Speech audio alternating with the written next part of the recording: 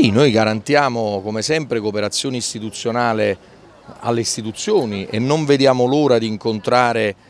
eh, Floro Flores perché il governo non può più perdere tempo su Bagnoli, l'accordo è stato firmato, l'accordo va attuato, il governo in legge di bilancio deve trovare le risorse per completare la bonifica, bisogna partire con le gare e nella sinergia istituzionale che questa città si è conquistata bisogna far presto. Noi siamo contro i commissariamenti ma siccome questo governo in linea col governo Renzi e Gentiloni ha confermato i commissariamenti abbiamo cooperato con Salvo Anastasi a maggior ragione e comunque allo stesso modo e mi auguro ancora di più cooperimo con Floro Flores che tra l'altro è un napoletano e penso che abbia